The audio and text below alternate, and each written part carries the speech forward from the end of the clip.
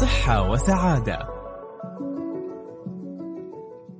رجعنا لكم أعزائي المستمعين مع برنامجكم صحة وسعادة اللي تقدم لكم هيئة الصحة بدبي بالتعاون مع إذاعة نور دبي.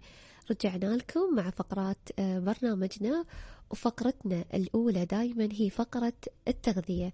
طبعا دكتورة في كثير من الناس ما يأكلون لحوم. زعلانين ناس- من البقر. ما أدري ليش والله مع البقرات وايد لطيفات صراحة. وفي ناس يسمون اعمارهم نباتيين. أنا الصراحه حاولت أكون نباتية شي مال كم يوم. ما قدرت دكتور ما ما اعيش بدون الدياي. غير من اللحم. واللحم لا ما لا بعد نباتيين بعد شوي هم في ال vegan اللي مول أبد ولا ولا شيء. من من النب... فإذا كان. في أحد من المستمعين يمكن ما يحب اللحوم دكتورة زعلان منهم. آه، من ال... مثل ما قلتي مثل البقر إذا حد زعلان من أكل اللحوم ولا ما يبغى ياكل فإحنا نقول لهم إن اليوم معانا الأستاذة سهى نوفل أخصائية التغذية السريرية بهيئة الصحة بدبي بتقول لكم عن مصادر للبروتين للنباتيين. صباح الخير أستاذة سهى.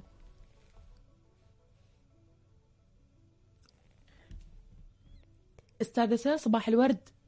صباح الخير أهلين حبيبتي صباح الخير. هلا فيك. أستاذة آه، سهى أول شيء لو نقول شو يعني يكون شخص نباتي؟ يعني زعلان من اللحوم كلها؟ آه شخص نباتي. هو في منهم بيكون فعليا زعلان من اللحوم كلها ومصادرها ومشتقاتها وفي منهم بيكون يعني معه صلح جزئي زي ما نحكي. أوكي. فال- في هدول النباتيين الناس اللي زي ما تفضلتوا كنتوا تحكوا اللي بيحاولوا يبعدوا عن المصادر الحيوانية آه لكن هم برضو عدة فئات في منهم النباتيين المطلقين اللي نهائيا ما بيتناول ولا أي مصدر للحوم ولا حتى أن آه منتجاتها سواء كانت حليب بيض حتى العسل بيتجنبوا لأنهم بيعتبروه جاي من الحيوانات. فبتجنبوا أي مصدر من المصادر ال- الحيوانية بنسميهم النباتيين المطلقين هذول اللي, اللي على الآخر. في بيكون زي ما حكينا معه صلح جزئي يعني ممكن يكون نباتي بس بيتناول الألبان ومنتجاتها. في منه بتناول البيض والألبان. آه، في بس بيكون عندهم عزوف عن اللحم كلحم أحمر. آه، أما بياخذ ود- ود- ودجاج. ولبن بيض يعني فعلى حسب الفئات لكن هي أشدها اللي بيكون نهائيا ما بيتناول لا اللحوم ولا حتى أي منتج من منتجات اللي بتيجيني من الحيوانات. مع إنه غريب يعني العسل يعني هم أنا أفهم النباتيين ما يأكلون لحوم يقول لنا في أذية للحيوان ذبح للحيوان وشي بس يعني النحلة المسكينة ما فيها شيء يعني عادي تعطينا طواعية النح... العسل يعني ما حد أذاها. ما أدري ليش خلاص، زعلانين المتشددين المتشددين حتى العسل بيحرموا حالهم منه يعني سبحان الله سبحان الله إنزين آه، آه، أستاذة سهى قولي لنا إذا النباتيين ما يصير يأكلون آه، اللحوم وحارمين أعمارهم آه، أيضا من العسل فشو يعني شو الشيء اللي هم أصلا يركزون عليه؟ هل يركزون إنهم ما يأكلون لحوم فقط ولا يركزون إنهم ما يأكلون أي شيء من الحيوانات؟ هلا على حسب الفئة اللي هم بينتموا إلها بت- بيروحوا بيتجنبوا هاي المصادر. لكن بيكونوا بيركزوا على اشياء بيركزوا بالتالي على المصادر النباتية الثانية. مهم. آه، بقول مكسرات ال- ال- الكربوهيدرات بكل أشكالها. هاي الأطعمة اللي- بيركزوا عليها النشويات آه، خضار فواكه هون بيركزوا على أغلب أكلهم يكون من هذه المصادر. لكن طبعا هل هذه المصادر بتكفي احتياجاتهم بالكامل؟ طبعا هذا الإشي آه، في كثير من الدراسات إنها بتطلع إنه لا هذا ما بيأدي وما بكفي الاحتياجات الكاملة من غذائهم لأنه غذائهم إلا ما يكون في بعض النقص من ال- ال- الفيتامينات خاصة عندي فيتامين بي 12 اللي. هو ضروري جدا عندي لقوة الدم ضروري اللي هي أصلا من. اللحوم فيتامين بي 12 بالضبط اللي هي أيوه بصير عندهم نقص من الفيتامينات والمعادن اللي مصدرها الأساسي بيجيني من المصادر الحيوانية ومنتجاتها يعني سواء كانت ألبان سواء كان بيض سواء كان آه، حتى العسل أو أي منتجات ال- ال- اللحوم أو المنتجات الحيوانية خلينا نسميها. يعني لو حكينا على بعض النواقص اللي بتصير عندهم بصير عندهم نقص في الفيتامين زي ما حكينا بي 12 زي ما حكينا هذا ضروري جدا للأعصاب. آه، بيصير عندهم فبالتالي بيصيروا يتعبوا بسرعة لأنه برضه بينعكس على الدم بالإضافة لأنه زي ما حكينا المنتجات الحيوانية مرتبطة برضه بالحديد. صح. موجود صح في الفواكه أو عفوا في الخضار في حديد لكن امتصاصه شوي أصعب. صحيح. الموضوع الحديد اللي موجود في المنتجات الحيوانية أسهل للجسم إنه يمتصه ويستفيد منه في إنتاج خلايا الدم الحمراء وبقية العمليات اللي في الجسم. فهذه الناس بتعاني من نقص البي 12 من نقص الحديد اللي بينعكس بعدين على تعب إرهاق دائما في عندهم. آه، بتكون هو آه، إذا ما حصلوا على الكفاية من الكالسيوم اللي هو منتجات الحليب بتعطيني إياه والألبان بشكل أساسي بيصيروا عرضة لهشاشه العظام أو الكسور بسرعة بيتكسروا. أجسامهم العضلات بتصير شوية عندهم فيها آه، آلام في العضلات. بالإضافة للأوميجا 3 لأنه إحنا كلياتنا بنعرف إنه الدهون الأساسية أو المفيدة للجسم الاحماض الدهنية المفيدة ومن ضمنها أوميجا 3 كلياتها موجودة وين عندي؟ في خاصة خلينا نحكي مركزة في الأسماك. وفي اللحوم بقية مجموعة اللحوم لكن في الأسماك مركزة أكثر شيء. فهم لما عم ما بيتناولها عم بحرم حاله من الفوائد المرجوة من الأوميجا 3 سواء بالمناعة سواء بالذاكرة آه، تنشيط الدماغ. فهو عم بحرم حاله من هذا. الشيء. آه، طبعا لما نقول استاذه سهى نباتيين دائما أول شيء يبانا من وين يأخذون البروتينات بما إن المصدر الأساسي للبروتين بالنسبة لنا تعرف نحن الناس اللي المتوحشين ناكل لحوم يعني من اللحوم من اللحوم والدياي. اللي نباتي من وين يجيب البروتين؟ أيوه هلا هذا الشخص نباتي لسبب ما؟ خلينا نحكي شو ما كان السبب عنده. وما راح يقتنع في معتقداته إنه ممكن يأخذ الأغذية اللي فيها المصادر اللي حكينا اللي ممكن تمده باقي العناصر اللي حكينا عنها سواء كانت لحوم أو باقي منتجات الحيوانات فبيروح بيحاول يعوضها في النباتات. مثلا حتى يعوض النقص في فيتامين بي 12 لازم يتناول بكميات أكبر الحبوب الافطار المدعمة أو مثلا خلينا نحكي البقوليات اللي مع النخاله النخاله الكاملة مع القشور الكاملة حتى يعوض آه، فيتامين B 12 حتى يعوض الكالسيوم برضه بده يروح ياخذ مثلا آه، فول الصويا أو الجبن اللي هم يسموه التوفو اللي جاي من الفول آه، الصويا.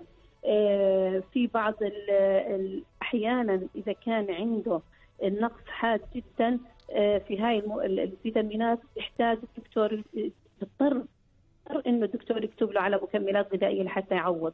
بده يعوض مثلا الحديد يكثر من البقوليات اللي هي عندي العدس الفاصوليا مع طبعا إضافة فيتامين C عليها لحتى يزيد من امتصاص الحديد اللي موجود في هاي البقوليات.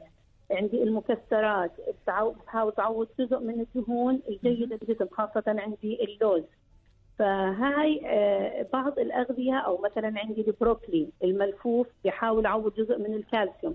فلازم يكون غذائه يومي موجود في هذه الأمور الأساسية لحتى يعوض النقص اللي ممكن يصيبه بسبب عدم تناوله للحوم أو المنتجات الحيوانية. أه أستاذة سهى هل تحسين الناس تتحول نباتيين عشان تضعف؟ يقول لك يعني ابتعدت عن اللحوم وشي أضعف آه أسهل هي طلعت فعليا فترة الناس عندها هذا الهوس لكن أنا خلينا نكون واقعيين هل أنا عشان أضعف أتحول من نباتي النبات من نباتي يعني أتحول إلى نباتي. اتحول إلى نباتي. طب أنا أنا اللي باخذه من المصادر الحيوانية غالبا هو اللحوم. فيها سعرات حرارية لكن خليني أطلع على فوائدها. بالعكس هلأ أنا إذا مسألة الوزن مسألة الوزن لها علاقة في كمياتك كمان للأكل. صح. مش بس أنا شو بدي طبعا النوعية مهمة جدا لكن كمياتي. لأنه بالعكس بيجيك نباتيين عندهم زيادة في الوزن. ليه؟ لأنه بيركز على النشويات. حيركز على الطحين على المعجنات على الخبز على الرز. على هاي الأشياء. مضبوط بقوليات لكن برضه فيها نشو فيها نسبة نشويات. غير عن إنه فيها نسبة بروتين. يبقى أنا هون ركزت على النشويات. ممكن نباتيين ما عندهم نشاط بدني. صحيح. إذا أنا عشان أضعف مش ما بتحول على نباتي. أنا لازم اعرف شو بختار في أكلي؟ بالعكس خليك على النظام اللي أنت ماشي عليه تناول كل خيرات رب العالمين اللي موجودة لكن اطلع على كمياتها اللي أنت بتناولها واحسن الاختيار بس مش عشان أضعف أتحول لنباتي لا. أنت ممكن تتحول لنباتي بالعكس يصير وزنك زيادة ويكون عندك نقص في الفيتامينات والمعادن الضرورية. جميل. طبعا آه، أستاذة سهى نصيحة أخيرة تقدمينها للنباتيين اللي تاركين آه، اللحوم والأكلات آه، الجميلة. شو تقولي لهم؟ هو أنا بحكي لهم لا ارجعوا إلى الصواب. لكن إحنا بننصح الجميع ضروري جدا جدا زي ما حكينا انت نوع في منتجاتك بالكامل المفروض إذا صار عندك أي عرض للناس النباتيين تعرضت لكسور بشكل آه، أكثر أو صار عندك تحس بدوخة تعب مباشرة تزور الطبيب لحتى يعرف إيش الأسباب اللي أدت لهذا، إيش النقص اللي صاير عندك، يحاول تعوضه مع التعاون مع أخصائي التغذية بالغذاء اللازم والضروري أو إذا اضطر الموضوع إنه الدكتور يكتب لك بعض المكملات الغذائية تحت إشراف طبي زي ما حكينا مش أنت لحالك تروح تاخذها بالتالي حتى تعوض هاي النقص اللي صاير عندك. وإن شاء الله نتمنى السلامة آه، للجميع والصحة إن شاء الله. إن شاء الله شكرا لك أستاذة سهى نوفل اخصائيه التغذية السريرية في هيئة الصحة بدبي على هاي المعلومات القيمة والمفيدة، شكرا لك. أهلا حبيبتي شكرا لك. آه، طبعا آه، تجربتك آمنة على السريع قبل ما نطلع الفاصل في التحول إلى نباتية كيف كانت؟ صراحة دكتورة ما عرفت أحسهم هم ترى على فكرة ناس وايد مثقفين لأنه يقرون يقرون لازم صح. كل شيء تشترينه تقرينه لأنه عادي في من من مكوناته يمكن مثلا حليب ها ترى يعتبر أنت يعني أنت كسرتي قاعدة النباتيين. ولا الحين ما شاء الله يعني تروحين السوبر ماركت تحسين خيارات النباتيين صارت وايدة. يعني تلاقين قسم المثلجات البرجر والناجتس وفي قسم ثاني يشبهه لكن كل على قولتهم plant based أو جاي من النباتات 100% ما في ولا منتج طبعا دكتورة نحن لو لو نرمس لو نقول عنهم آه انه ما يأكلون اللحوم وشي بس هاي طبعا خيارات كل شخص. صح. وأنا أقول لك هم ناس أنا عن تجربة عايشت ناس فكنت بقلد ترى. أنا شفت بعيني. فأنا عايشت الناس نباتيين ناس جدا يعني أولا صح. مثقفين ثانيا حتى هم يمكن يعني دكتورة صحيا بيختارون لك أفضل الأشياء مثل ما قالت أستاذة سوى بيختارون مصادر البروتين نحن ما نشجع حد على آه، ميول معينة أو إنه يختار يكون نباتي ولا يكون آه، شخص آه، ياكل كل الأكلات ولكن نقول إنه الحين لديهم خيارات أكثر صحيح. للنباتيين ونحاول أيضا مثل ما ذكرت إنه لو حسوا بتعب وصدق اللي أنا أعرفهم دكتورة تحسين فيهم خمول صحيح فيهم بالضبط. يعني يعني حتى وياهم تحسين شيء ذابل أنا يوم شفت بعد فترة يعني من تطورهم يعني مد أكثر من سنة حسيت انه لا يعني هالشيء مو طبيعي إن شكلي يكون طول الوقت إني أنا ذبلانه لمجرد إني أنا ما أتناول آه، اللحوم.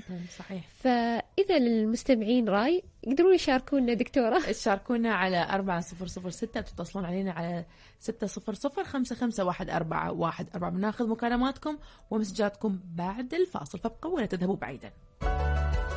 صحة وسعادة.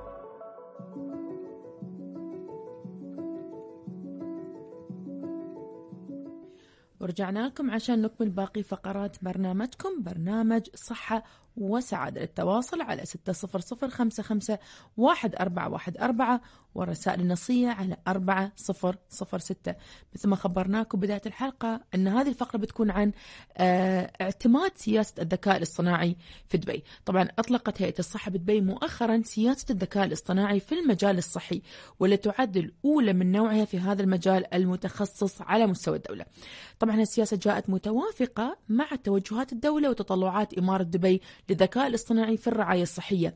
فيما استهدفت تحديد المتطلبات التنظيمية لتوفير حلول الذكاء الاصطناعي في هذا المجال المهم وطبعا تحديد المتطلبات الأخلاقية لحلول الذكاء الاصطناعي. إلى جانب تحديد الأدوار والمسؤوليات الرئيسية لأصحاب المصلحة والمعنيين بتطوير واستخدام الذكاء الاصطناعي في الرعاية الصحية.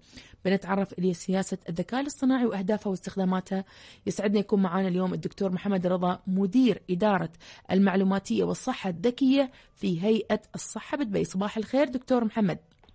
صباح الله بالنور والسرور دكتورة ندى. هلا فيك شخبارك بخير الله يحفظك. الله يسلمك. آه طبعا آه دكتور محمد قبل ما يعني نب أطلق لك أعطيك سياسة الذكاء الاصطناعي لأن متأكدة إنك أنت راح تبدع في شرحها بس إن نفهم المستمعين شو يعني استخد... شو يعني ذكاء اصطناعي؟ آه وليش هو مهم؟ وبعدين تبتدي ما عليك أمر آه، تخبرنا عن سياسة الذكاء الاصطناعي آه في المجال الصحي في دبي.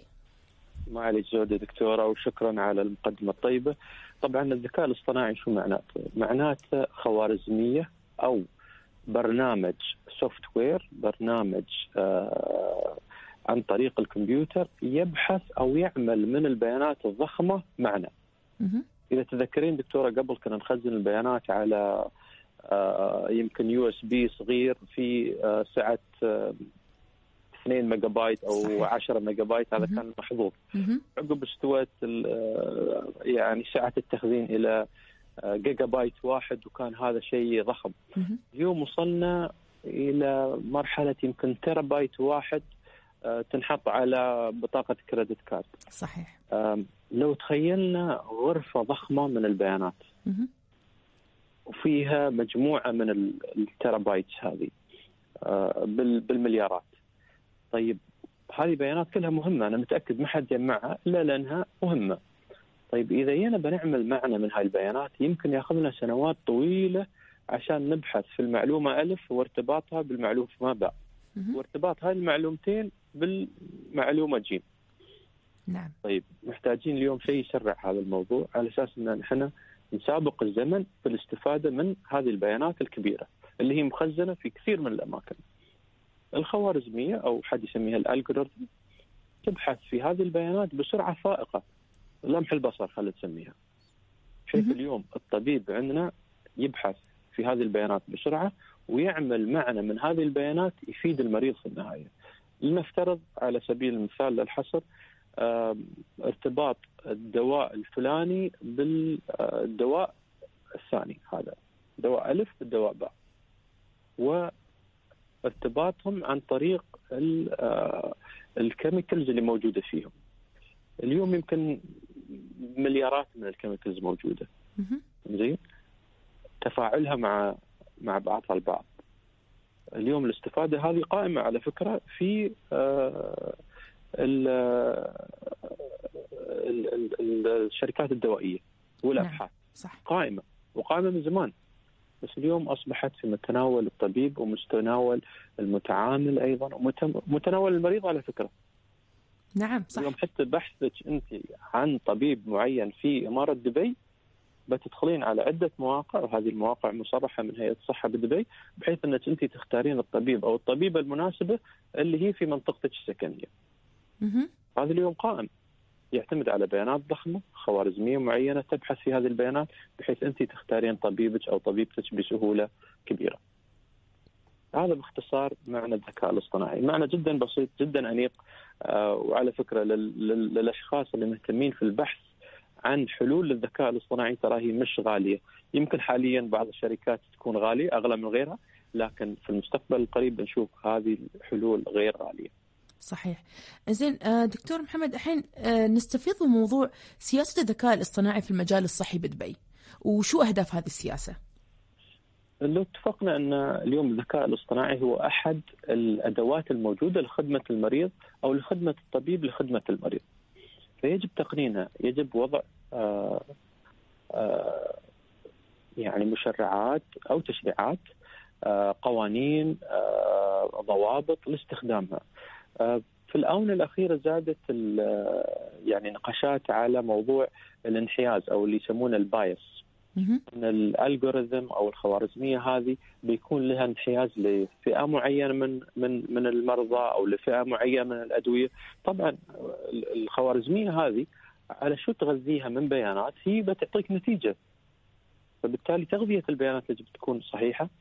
نوعية البيانات أيضا يجب أن تكون بيانات مش سرية آه، بيانات حتى لو كانت مثلا لها خصوصية المريض تكون بدون اسم المريض آه، ما تنشر آه، يعني تفاصيل مرض المريض على على البورتلز العمومية أو على على مواقع التواصل الاجتماعي مثلا.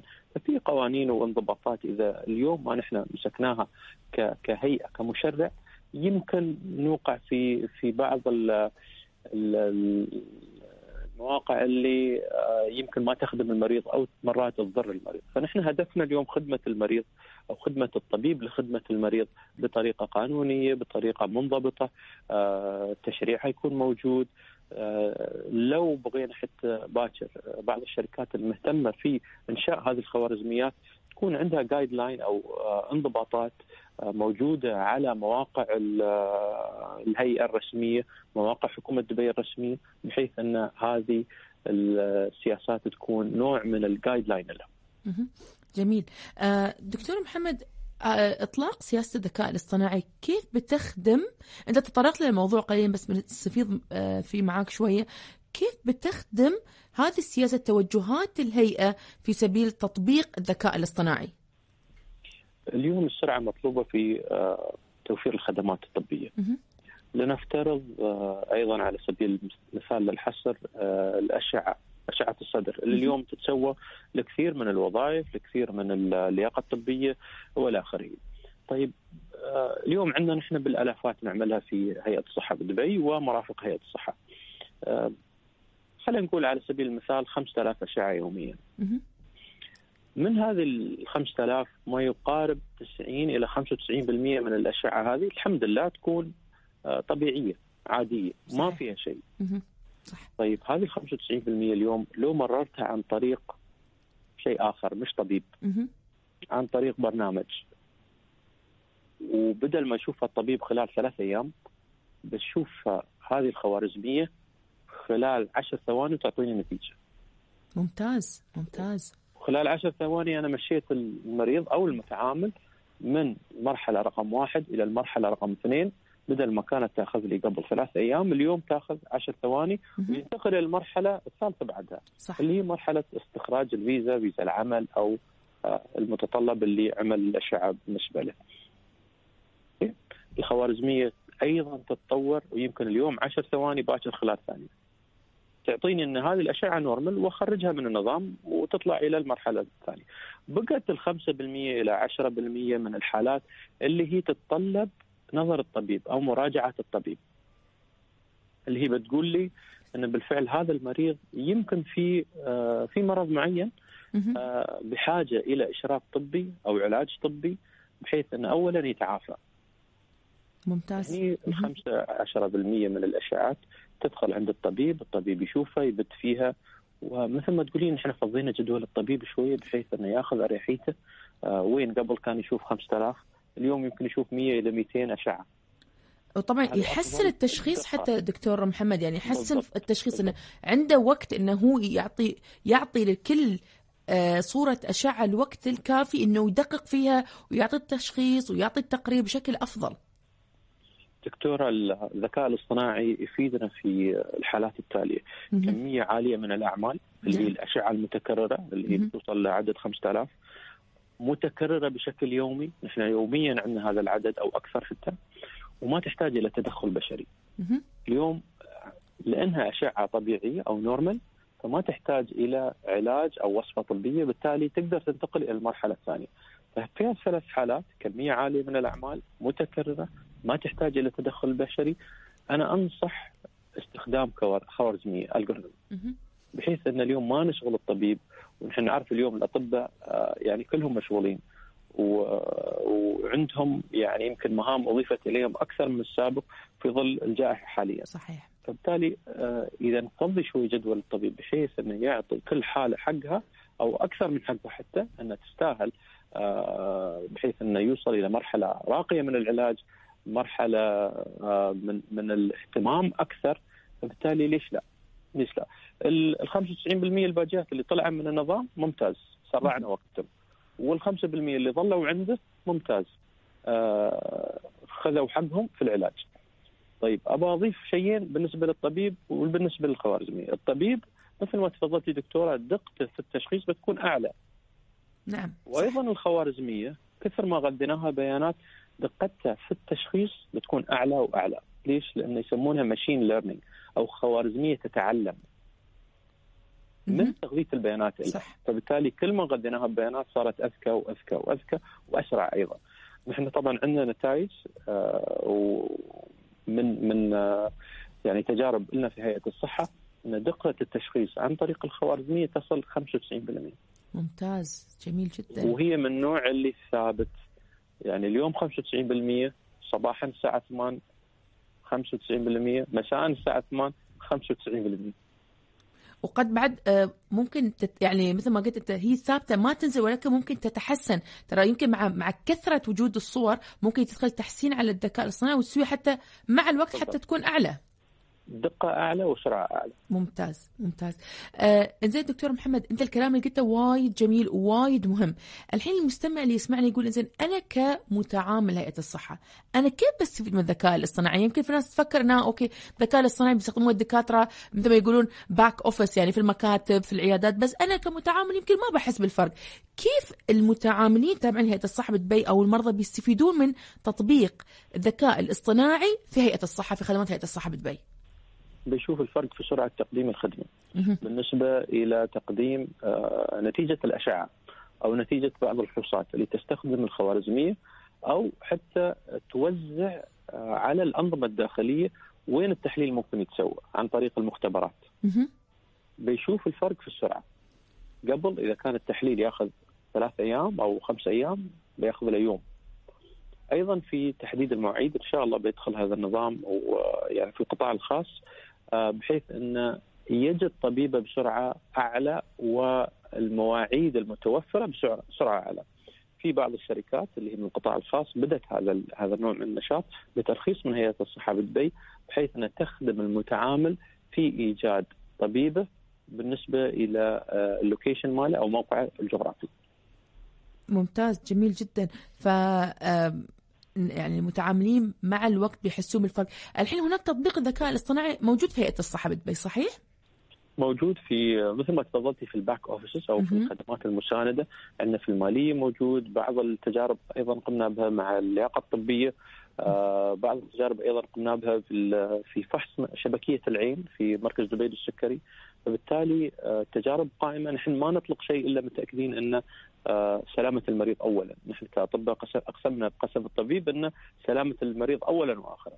فبالتالي هذه التجارب خذت مجراها أثبتت أنها بالفعل آه، ممكن تدخل حيز التنفيذ قريبا إن شاء الله. ممتاز. آه ككلمة أخيرة دكتور محمد آه أين ترى مستقبل الذكاء الاصطناعي في خدمات هيئة الصحة؟ شو الخدمات الجديدة راح تطرح بناء على الذكاء الاصطناعي أو أشياء جديدة راح تطرح باستخدام سياسة الذكاء الاصطناعي؟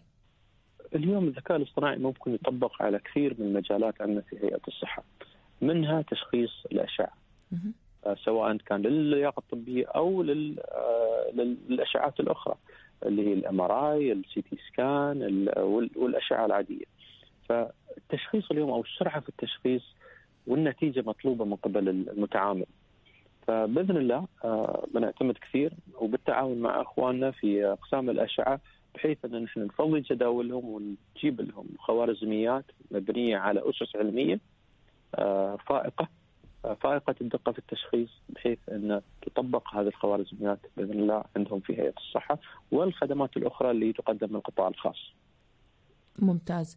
آه أنا شاكرة لك دكتور محمد رضا مدير إدارة المعلوماتية والصحة الذكية في هيئة الصحة بدبي مداخلتك اليوم معنا بخصوص اعتماد سياسة الذكاء الاصطناعي في دبي شكرا لك نهارك سعيد. العفو يا دكتورة وأنتم كذلك. شكرا. آه طبعا آه آه مثل ما قال دكتور محمد عن الذكاء الاصطناعي. ما شاء الله يعني العالم قاعد يقفز قفزات في استخدام الذكاء الاصطناعي لدرجة إنه آه مثل ما قال دكتور محمد يعني إنه يقدر يقرأ أشعة ويقرر هالأشعة طبيعية أو لا. طبعا آه يعني لسلامة المريض إن لو الذكاء الاصطناعي أو السوفت وير أو البرنامج هذا تبع الذكاء الاصطناعي إذا شك ولو يعني فاصلة خمسة بالمية أن هناك قد يكون شيء في الأشياء ويحاول على طول على الطبيب عشان الناس تكون مطمنة انه هناك يعني هناك نعم. آه إذا في أي شك على طول يحاول على الطبيب. لكن يعني يختصر وقت الطبيب جدا. يعني مثل ما قال دكتور محمد في أقسام خدمات اللياقة الطبية أعداد هائلة من الناس تسوي اشعه بشكل يومي تقريبا 5000 شخص. فتخيل الدكتور يقرأ يعني يشوف صورة بعد صورة بعد صورة بعد صورة. قد من الضغط الكبير قد في النص يكون في شيء بسيط قد يفوت عليه لأنه هو قاعد يشوف كمية كبيرة من الأشعة. الإنسان يعني إنسان في النهاية. ممكن صحيح. إنه يخطأ ممكن إنه يغلط آه، ولكن مثل ما نقول دكتور الذكاء الاصطناعي مثل ما ذكر الدكتور دقة عالية سرعة وكذلك آه، دكتورة ممكن نتفادى الأخطاء لأن هي خوارزمية مثل ما ذكر آه، صحيح. آه، الدكتور ممكن أنها تعطيك هاي الأخطاء وقابلة للتحسين المستمر. فيعني استخدام الذكاء الاصطناعي في هيئة الصحة في دبي شيء دكتورة مشرف. وإدارة طبعا نفخر بوجودها في زمن الذكاء الاصطناعي في زمن التطور. ووجود سياسة للذكاء الاصطناعي شيء إذا دل دكتورة على شيء يدل على حرص هيئة الصحة بدبي على سلامة آه، المتعاملين لديها سلامة آه، أنظمتها الجديدة. فحبيت دكتورة سياسة الذكاء الاصطناعي اللي ذكرها الدكتور فيعتبر هذا خبر مهم. إذا بنقول أن تطرح سياسة للذكاء الاصطناعي في هيئة الصحة بدبي طبعا إحنا في هيئة الصحة يعني دائما دائما يعني آه، نطمح إلى تقديم أفضل خدمة وأسرع خدمة ومع الحفاظ على سلامة المريض وعلى خصوص خصوصيته. مثل ما قال دكتور محمد آه، استخدام الذكاء الاصطناعي يحمي خصوصية المريض آه، يضمن سلامته. مثل ما قال أنه هو ثابت. يعني ما في مو اليوم الج... يعني الخوارزمية ما تتعب مثل ما يقولون. يعني مو ب... 8 الصبح و8 في الليل على نفس المستوى راح تكون. فيساعد جدا إنه يكون مثل مثل يسوي لك مثل فرز حالات. ما يفرز لك الحالات؟ الحالات اللي ما تحتاج الطبيب خلاص تروح عن طريق الذكاء الاصطناعي. فقط الحالات تحتاج, تحتاج إلى الطبيب. وما شاء الله إحنا نشوف هيئة الصحة ما شاء الله دائما عندنا شيء جديد في مجال التكنولوجيا تطور التطبيقات. وبما نتكلم عن التطبيقات أنا أشجع كل شخص ينزل تطبيق هيئة الصحة بدبي. أنا نفسي ما كان عندي تطبيق لين فترة قريبه عقب قلت بما إني موظف في الهيئة يعني أنا already ال system عندي وها. لكن يوم بد... يوم نزلت التطبيق أنا أنا كموظفة في هيئة الصحة وأنا داوم في عيادة استفدت جدا جدا جدا من التطبيق هيئة الصحة. أول شيء تطبيق سهل سهل التصفح. ثاني شيء كل الخدمات فيه بحجز موعد موجود. أه بتابع نتائجي موجود. متا... مواعيد عيالي نتائج عيالي الإجازات المرضية موجودة نتائج المسوحات كلها موجودة على تطبيق هيئة الصحة. فإحنا بما إننا موجودين في العيادات نلاقي بعض الناس لما يجون العيادة يقول دكتورة آه زين أنا مو منزله مو مسجل فيه. هو التسجيل فيه شوي ياخذ وقت بسبب إنه الأمان في التطبيق جدا عالي آمنة لأنه آه، ملفات ملفك الصحي كامل كله موجود عليه. فلازم خطوات شوي طويلة تسجل فعشان كذا دائما نقول الناس اقعدوا بهدوء في البيت سجلوا في مثل ما تسجلون في أي تطبيق ثاني. بتحط آه، اسم و username و password بينزل لك هذا ال OTP على التليفون وتدخله ويتأكد إن إيميلك صحيح هذه الخطوات موجودة كذا في كل التطبيقات. دكتور البيانات الصحية إذا بنقول على الأمن الإلكتروني دائما يحثونا ونحن نحث بدورنا كجهة إعلامية على أن نحافظ على بياناتنا الصحية. صحيح، فعشان شيء تسجلون فيه بتلاحظون انه في وايد تأكيد من من الشخصية، رقم التليفون والإيميل وغيره، لكن نزلوه بهدوء راح تشوفون في مجموعة من الخدمات راح تغنيكم حتى من روحة العيادة. احجزوا خدمة طبيب لكل مواطن الاستشاره عن بعد احجزوا مواعيد المسوحات نزلوا شهادة المسوحات السكليفات كل شيء موجود على تطبيق هيئة الصحة بدبي وضيفوا لكل عائلتكم بالتالي يكون أنا مثل ما قلت أنا ضايفه ريلي وعيالي وأمي في التطبيق من هيئة الصحة بحيث أنا أقدر أتابع كل مواعيدهم أدويتهم كل شيء يكون موجود. فنزلوا التطبيق سجلوا فيه بتستفيدون من خدماته بتغنيكم حتى من روحة العيادات. نعم دكتوره بهذا نوصل لختام آه، حلقة برنامج آه، صحة وسعادة. آه، نشكر فريق الاعداد في هيئة الصحة بدبي وكل الشكر في التنسيق والمتابعة الاخ أحمد سلام وكذلك في الإخراج مخرجنا سعيد ألمر. والشكر طبعا لك دكتورة ندى سعدت بمشاركتك هذه الحلقة. شكرا. وطبعا آه، في التنسيق والمتابعة معانا عفوا ميرا الخفلية أوجه لها التحية ونتمنى لكم أعزائي المستمعين الصحة والسعادة. ونهاركم سعيد. صحة وسعادة.